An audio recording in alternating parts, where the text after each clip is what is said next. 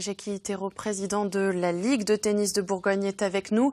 Vous êtes en duplex depuis Perpignan. Merci d'avoir accepté notre invitation. Le monde du tennis semble unanime. Jérôme Golmar était un grand professionnel, mais aussi un joueur différent, atypique. C'est aussi le souvenir que vous en avez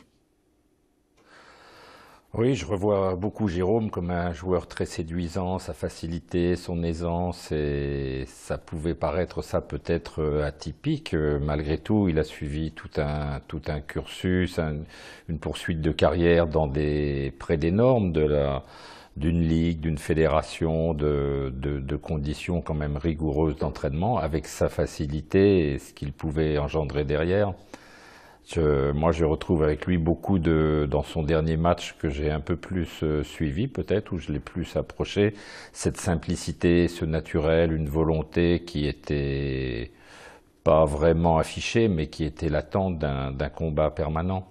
Ici, à ses débuts en Bourgogne, est-ce qu'il visait vraiment une carrière professionnelle? S'attendait-il à battre des joueurs mondiaux du top 10 je pense pas.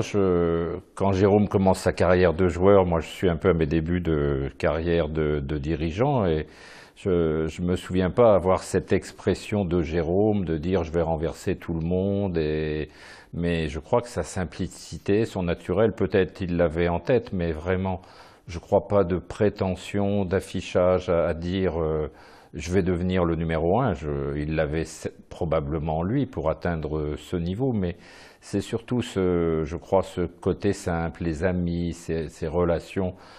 Je crois une décontraction qui l'ont sûrement conduit à, atteindre ce niveau. Et une décontraction, un niveau qui lui ont aussi permis de battre un jour André Agassi au tournoi de Toronto. Est-ce qu'il mesurait les exploits dont il était capable? Je pense qu'effectivement, il a dû, au travers des résultats qu'il a eus, qui lui ont ouvert un potentiel, il a probablement pu avoir les, regrets des difficultés qu'il a rencontrées de par ses blessures, ces blessures qui peut-être sont devenues la suite d'une préparation pas aussi intense que d'autres ont pu connaître sur le, sur le plan physique, mais j'imagine que c'est cet aspect mental qui lui a permis ça, qui après on a besoin pour la réussite de tout, du mental, du physique. Chacune des, composantes sont importantes. Pour lui, c'est le physique qui a été un peu défaillant et qui a altéré sa carrière. En un mot, après l'apparition de sa maladie, la Ligue a été à ses côtés pour son combat. Oui, je l'entends aujourd'hui. Je crois qu'on a fait ces choses-là très naturellement. Un de ses proches qui travaille à la Ligue a été très proche de lui. Nous, on a, on a voulu aussi tout, de tout ce qui pouvait être fait pour l'aider moralement, mentalement, matériellement. On, a, on voulait être près de Jérôme. Souvenir d'un repas qu'on fait à quatre où il, il, était comme nous tous, même s'il était, la maladie était déjà là, mais ces moments de partage.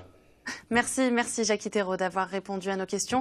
Je rappelle que vous êtes euh, président de la Ligue de tennis en Bourgogne.